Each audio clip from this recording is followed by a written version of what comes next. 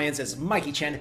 When we think of dinosaurs and humans, we never associate them with each other because they supposedly belong to completely different time periods. Dinosaurs were prehistoric reptiles that appeared during the middle to late Triassic period of the Mesozoic era, which is around 230 million years ago. They were members of a subclass of reptiles that included birds and crocodiles and got their name from the ancient Greek word dinos, meaning terrible, and sauros, which means lizard or reptile. Dinosaurs first sparked people's curiosities in the 1820s when scientists found huge bones of an unknown reptile in the English countryside. Ever since then, dinosaurs have been favorites of children and adults, probably because they're extinct and can no longer eat us. Their sheer size and uniqueness have inspired many documentaries, movies, and stories alike. Humans, on the other hand, according to scientists, are relatively new to Earth compared to the large lizards. While our ancestors have been around for about 6 million years, modern humans evolved about 200,000 years ago. That means that humans and dinosaurs dinosaurs never coexisted, much less interacted with each other, right? And although many people believe that it's impossible for humans and dinosaurs to have coexisted, there has been clues from fossils, paintings, ancient sculptures, and more that tells a slightly different story,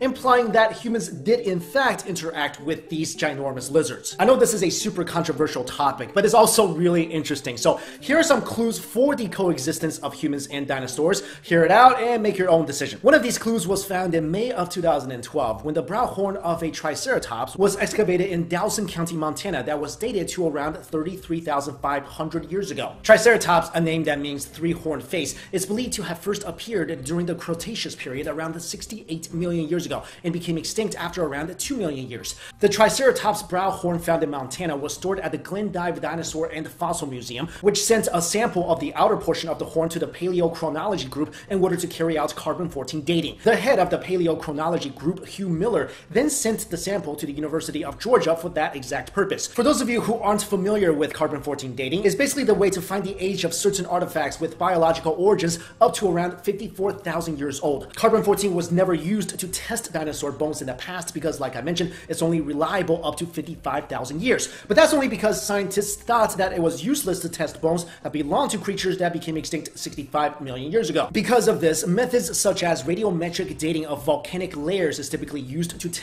dinosaur bones, which yielded results that were more based on assumption. It became clear years ago that paleontologists were not just neglecting to test dinosaur bones for C14 content, but were refusing to. After the Triceratops brow horn sample was sent to the University of Georgia for C14 testing, it was divided at the lab into two fractions. One fraction yielded an age of 33,570 plus or minus 120 years, and the other an age of 41,010 plus or minus 220 years. The reason why they split the sample into two fractions was because it reduced the possibility for errors. The C14 test results that came out were not surprising to the paleochronology group because they had carried out the test on dinosaur bones before. All of the results date back to thousands of years instead of millions of years. A model created by the group in 2003 showed that dinosaur bones had C14 that ranged from 22,000 to 39,000 years. Another discovery came in the form of soft tissue found in dinosaur fossils in March of 2005. According to paleontologist Mary Schweitzer, the soft tissue was discovered inside a 68 million year old T Rex leg bone from Montana.